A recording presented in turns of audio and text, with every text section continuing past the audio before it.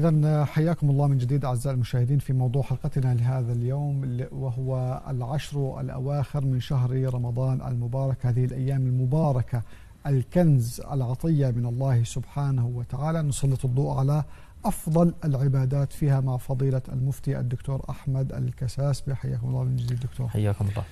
دكتور ما هي أفضل العبادات التي يمكن يقدمها الإنسان في العشر الأواخر من رمضان غير الصيام لأنه الصيام هو معروف يعني كتب عليكم الصيام لكن الأعمال التي يعني الزائدة التي نقدمها. نعم. يعني هذه هذه العشر الأواخر هي ميدان للتنافس والسباق. كما قلنا هي ميدان مضاعفة للمجد وميدان آه، تفادي لمن قصر في رمضان. حتى لو كان التقصير بأن أفطر في رمضان عامد متعمد ولو لم يصلي لا يقنط في هذه العشر هي ميدان التصحيح. فلذلك الإنسان رب العالمين أتاح كل وسائل وأصناف العبادات سواء بقيام الليل وهذا أبرز شيء بالقيام الليل أن يصلي ما شاء حسب القدرة آه، بالإعتكاف في المسجد إن تيسر له ذلك بالصدقة بالذكر بالجلوس والاستماع للحلقات الذكر والتعليم. كل هذه الأمور. وأبرز شيء أنه يمتنع عن المعصية في هذه الأيام. إذا هو المسارعة بالطاعات بمختلف أنواع الطاعات. قبل ذلك الامتناع عن المعاصي. الامتناع عن المعاصي لذلك كل ما قدم الإنسان كل ما اعتبر أنه هذه الأيام كل دقيقة في هذه العشر الأواخر هي كنز دفين. أحاول أن أحصل على هذا الكنز. لذلك الرسول صلى الله عليه وسلم كما تقول السيدة عائشة رضي الله عنها كانت إذا دخل العشر الأواخر تحكي حال الرسول صلى الله عليه وسلم وفي كل عام جد وجد. طبعا شو سوى كمان؟ هو أحيا الليل وأيقظ أهله. فذلك العلماء يقولوا أيقظ كل من يطيق القيام. يعني حتى أهله مش فقط هو لوحده يوقظ أهله معه لأن يقوموا الليل لمن يطيق ذلك. وشد المئزر كناية عن اجتناب كثير من المباحات للإنسان حتى لا ينشغل عن فضل هذه العشر فيجد فيها وينشط أكثر شيء. فذلك ميدان العبادات كثير. صلاة صيام صدقة قراءة قرآن كريم أذكار كل هذه إن شاء الله تعالى فيها نفع. نعم دكتور يعني في ناس بكون حالهم مع العشر الأواخر كحال النبي صلى الله عليه وسلم جد واجتهد وأحيا ليله وأوقظ أهله. وفي ناس حالهم بجوز يكون مثل حال أبو عارف. خلينا نسلط الضوء على موقف من المواقف الحياتية اللي بعد مرات آه، الناس بتمر فيها خاصة في العشر الأواخر بعد ما بتتعب وما بتستطيع أنها تقدم أكثر. خلينا نعم. نشوف الموقف الحياتي ونرجع نعلق عليه.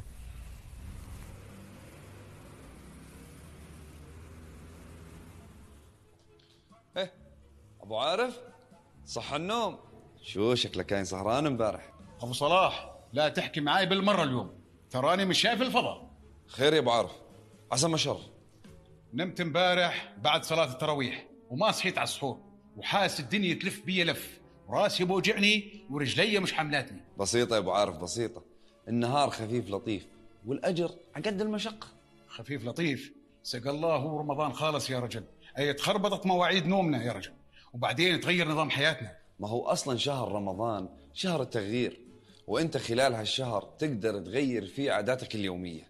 أي تغيير يا أبو صلاح؟ استوينا. زي ما بقولوا رمضان فراق وعيد. لا لا لا يا أبو عارف. ترى حرام نستهزئ بشعائر ربنا. والرسول عليه الصلاة والسلام بيقول رب كلمة يتفوه بها الرجل من سخط الله لا يلقي لها بالا تهوي به في جهنم سبعين خريفا. استغفر الله العظيم. بس رمضان في تعب ومشقة وخصوصا بالعشر الأواخر من رمضان. صار الواحد يعد الأيام بالساعات. بالعكس يا أبو العارف أصلا الخيل الأصيلة بتشد بالأواخر وبعدين شهر رمضان شهر العمل مو شهر الكسل.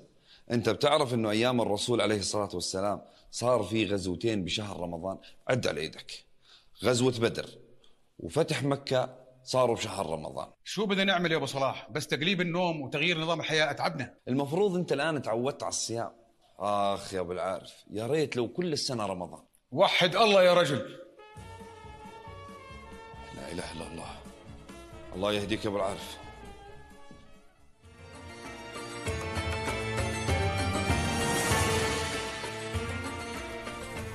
يعني دكتور مثل ما شفنا من حال أبو عارف بعد مرات في ناس يعني خلص يعني بتصير تحكي تتأفف من شهر رمضان وإنه متى يخلص وإنه هي تعبت. بجوز يعني هناك في أسباب لهذا الموضوع. يا ريت لو تسلط لنا الضوء على هذا الموضوع تحديدا وخاصة بعض الناس اللي بيطلق بعض العبارات مثل اللي حكاها أبو عارف. نعم. يعني نموذج آه، أبو عارف يعني هو نموذج لكثير أحيانا في المجتمع. يعني ينظر إلى رمضان نظرة أنه شهر محنة أو عقوبة من الله عز وجل. والأصح أن ننظر له نظرة أنه شهر امتنان من الله عز وجل ومنحة ربانية. فيحمد الله تعالى الإنسان أولا أن أبقاني أن حتى أدرك شهر, رمضان وخاصة هذه العشر الأواخر. لذلك ابن الجوزي رحمه الله تعالى يقول لو قيل لأهل القبور تمنوا تمنوا قال لو قدر أن يتمنوا أهل القبور مع أن هذه الأمنية غير واردة يعني ولا يستجاب لهم يعني بأمنياتهم بعد أن ماتوا قال لتمنوا يوما من رمضان. لماذا؟ لأنهم علموا حق رمضان وقدر رمضان. في رمضان يكفي أن الإنسان إذا صام يوم في سبيل الله تعالى باعد الله تعالى بينه وبين النار سبعين خريف وفي حديث آخر باعد الله تعالى بينه وبين النار مسيرة مئة عام. يعني بكون بينه وبين النار. لذلك هذا الشهر هو منحة ربانية. فلما أنظر إليه أنه عقوبة هذا النظر نظر بكون نظر سلبي. أحرم نفسي من هذه الأجور المتحصلة. فلذلك لما أنظر لرمضان أكيد بدي أنا أحيي الليل. أكيد بدي أنعس أكيد بدي أتعب أكيد بدي أعطش أكيد بدي يكون معي أمور استثنائية في هذا الشهر لأنه هذه الأمور الاستثنائية هي التي تحصل الاجور للإنسان. فكيف إذا ظمئ وتعب في الليل في قيامه هذه الأمور التي تتحصل من الإنسان الأجور. وثم بعد رمضان يرجع الإنسان إلى الراحة والطمأنينة.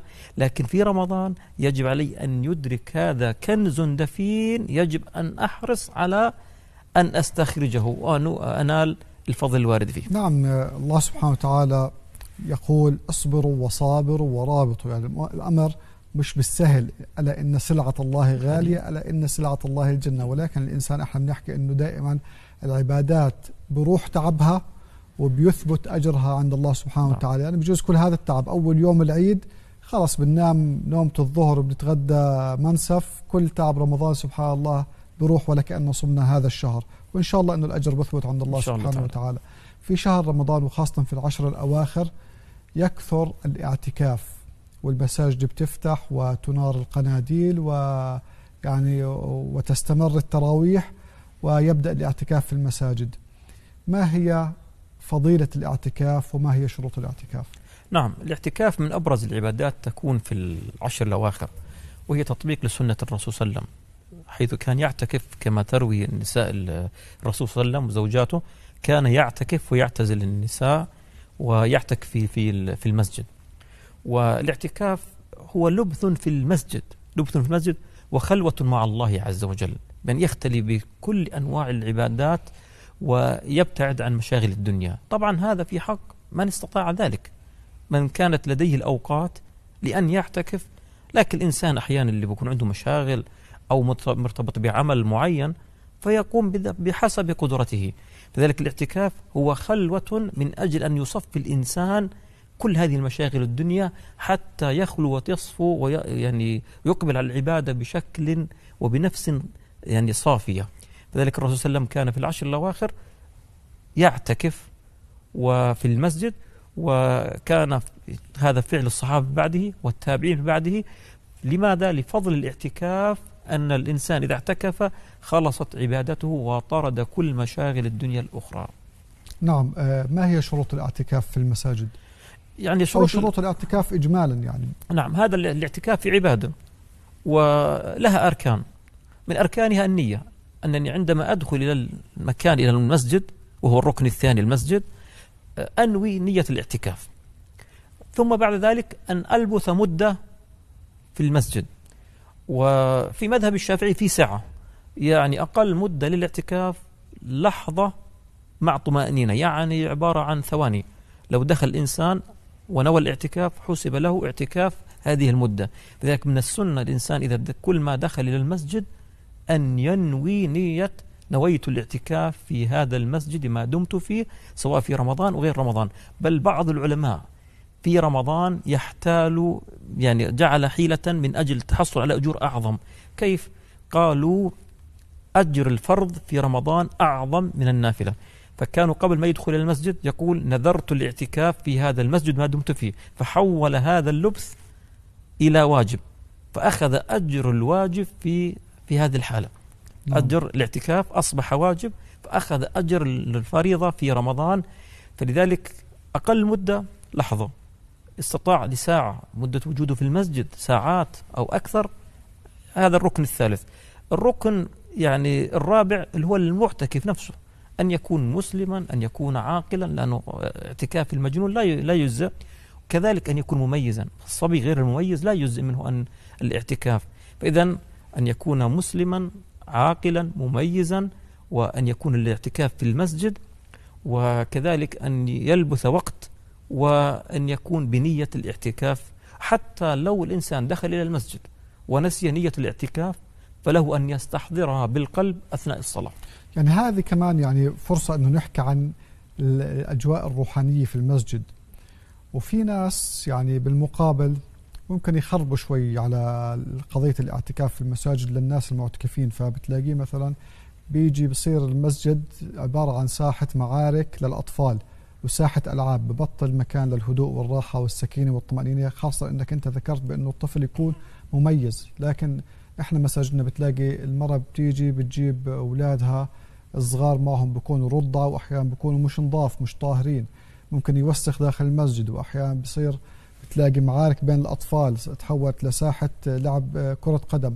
فيعني شوي خلينا نتحدث عن ضبط هاي الأمور. نعم يعني هاي مسألة حساسة وجزاك الله خير لإثارة هذه الجزئية. لأنه كما قلنا الاعتكاف وأحياء هذه الليالي من أجل أن الإنسان يخلو وتكون العبادة خاشعة. فلما يأتي الآن الصغار دون سن السابعة خاصة الأطفال غير المميزين فهو بيعتبر أنه هذا مكان اللعب فهو يعتبر أمر طبيعي. أن أنا أقوم ألعب وأعبث في محتويات المسجد وأشوش. فهذا الأمر نقول للأولياء الأمور كونوا عونا لإخوانكم بأداء هذه العبادة. نجنب المساجد الصغار الذي لا يميز يعني فضل المساجد وحرمة المساجد. فنبتعد نبعدهم الصغار الذين لا يميزوا لأنه في حالة تشويش على المصلي حال التشويش على من يقرأ القرآن الكريم حال التشويش على من يدعو. لذلك هذا هذه المساجد ليست ميدان للعب. أو آه، من أجل أن الأم تصلي تترك الطفل مثلا. هذا لا يعد عذر في هذه الحالة حتى أشوش على الآخرين المصلين لأن التشويش على المصلين قد أكسب فيه إثم.